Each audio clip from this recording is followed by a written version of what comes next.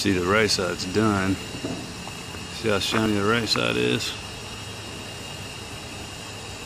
Now we gotta buff out the left side and then we gotta paste wax it after we get done.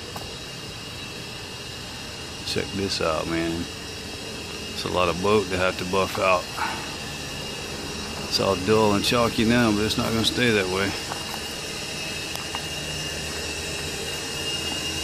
46 feet.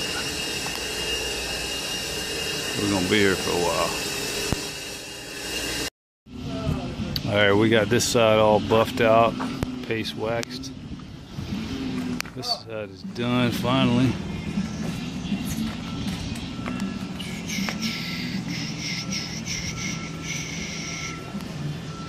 A lot of damn boat right there.